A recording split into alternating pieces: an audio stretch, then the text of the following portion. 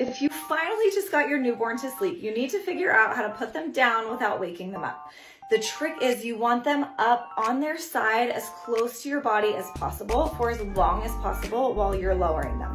That means you need to bend with your knees before you put them down and roll them onto their back. The other thing you can do is the switcheroo, where you take this free hand, support it underneath their body, then grab their head and their bum, rock again so they didn't get too disturbed in the transition, then lower down and you can lower them into the bassinet.